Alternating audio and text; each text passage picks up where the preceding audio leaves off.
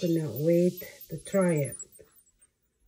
So let's. I think I have five small apple.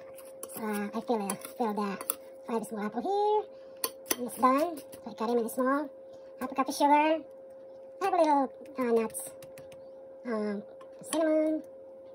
Salt. So then we're going to mix that. That's up. The butter. So then I'm going to Cook that. um, pie crust. And I usually like to do my own pie crust this time. Let's try this new one. Um, big, big one.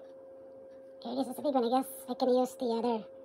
Uh, so here you go. I got done one and my second one.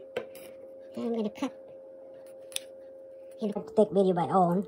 Uh, here we go. Let's put some apple that I cooked earlier.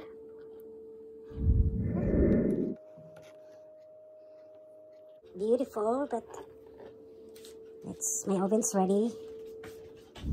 Done. I just got out from the oven after 40 minutes, and it is not bad looking. I think it's, it's a little brown on the sides, but let's see. Actually, I forgot to put the egg in a um, wash and a little milk at the top. And I put that after 30, 15 minutes and see it looks good but we're gonna try a slice in a little bit here Could not wait to try it. So Oh, let's, let's try a piece.